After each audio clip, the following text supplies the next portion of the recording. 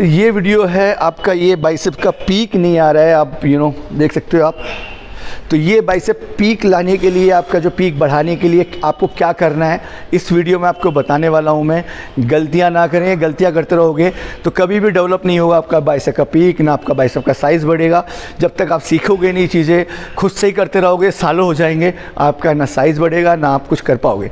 तो गाइज़ आपको, मैं हूँ यहाँ सिखाने के लिए, इस वीडियो में आपको जानने को मिलेगा, सबका पीक लाने के लिए वीडियो है, कौन सी एक्सरसाइज बेस्ट है, और कितनी, कितने सेट लगाने हैं इस वीडियो में आपको जानने को मिलेगा।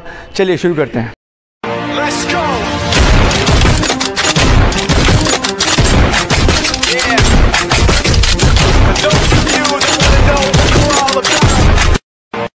हे गाइज़ मेरा नाम सुहेल और आप देख रहे हैं सुहेल फिटनेस तो गाइज़ ये वीडियो स्पेशली आपके लिए जैसे कि मैंने बताया कि ये वीडियो होने वाली है बाइसेप पीक के लिए।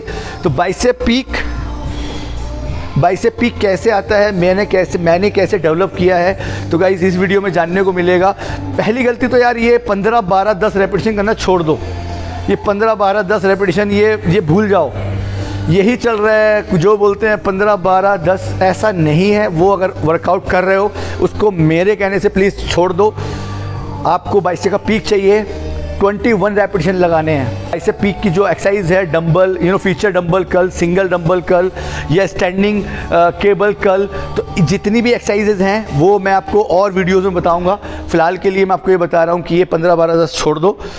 21 फिर उसके बाद 18 रेपिटेशन उसके बाद 16 रेपिटेशन उसके बाद आपको 14 रेपिटेशन ये चार तो जो भी एक्सरसाइज आप करोगे तो ये चार सेट ध्यान रखें। बाकी एक मैं एक्सरसाइज आपको बहुत अच्छी एक्सरसाइज आपको बता देता हूँ, जो कि बहुत एडवांस है। हर कोई नहीं करता है परफॉर्म मैं वो परफॉर्म करता हूँ। तो मैं चाहता हूँ आप लोगों के साथ शेयर करूँ और आप भी वैसे ही वर्कआउट करें तो आपका बाइसेप का पीक जो है डेवलप होगा डेफिनेटली सो आपको करना क्या है? कैसे वर्कआउट करना है? मैं आपको दिखा देता हूँ। होना है थोड़ा सा आप देख सकते हो सामने। ये आपको हाथ राइट हैंड अपने आपके इस नी पे रखना है और आपको ये एल्बो आपको स्टेबल रहेगी। एल्बो आपको मूव नहीं करनी है। आपको सिर्फ़ डंबल कल करना है और ये थोड़ा सा वेरिएशन देना है लास्ट वाली फिंगर से, जिससे आप मूव करोगे। इसको ट्विस्ट करोगे ट्विस्ट ये देखो आप। करना है आपको, ऐसे ही आपको एल्बो आपकी स्टेबल रहेगी like this slowly pull slowly ऐसे ही आपको दूसरे हाथ से करना है। ये पे नीज पे रहेगा। थोड़ा बैंड ओवर रहोगे लाइक दिस वन देख सकते हो आप, मैं थोड़ा ट्विस्ट कर रहा हूँ।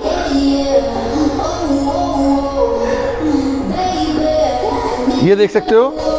तो ये एक्सरसाइज बहुत बेस्ट एक्सरसाइज है। ये बहुत अच्छी एक्सरसाइज है। मैं परफॉर्म करता हूँ और आप देख सकते हो, मेरे बाइसेप के पीक डेवलप हो चुके हैं।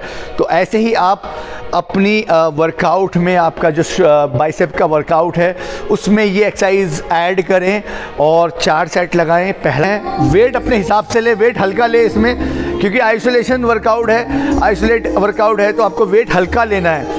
वेट ज़्यादा हैवी नहीं लेना है। आपको पूरा मूव करना है। अगर आपको पाँच के की हैबिट हो जाती है, उसके बाद साढ़े सात के मैक्सिमम दस के पर आपको रेपिटेशन पूरे लगाने हैं। Thank you so much for love and support मेरे से कनेक्ट रहने के लिए इंस्टाग्राम पर फॉलो कर सकते हैं। डिस्क्रीन में लिंक है। Thank you so much guys like share कैसी लगी वीडियो कमेंट करते हैं। Thank you